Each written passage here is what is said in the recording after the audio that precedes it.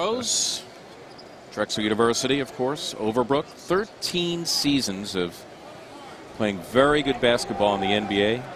Thank Two you. championship rings with San Antonio Spurs.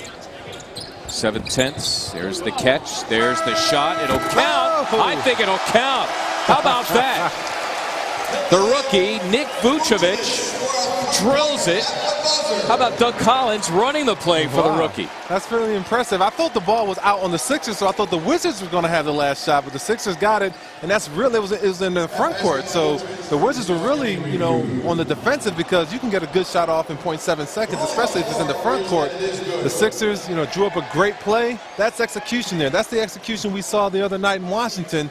The Sixers XYZing the Wizards to death. He got a little bit of screen to screener action, and the young fella, after getting dunked on, says, "Take that, JaVale." Mhm. Nick Vucevic. That's is a very good player in the Pac-10 conference. Exactly. Scorer, rebounder, and he's got a good touch from the outside. I wasn't sure if it was three-point NBA Oh, yeah. touch, but he showed it there. that's a that's a three point shot there,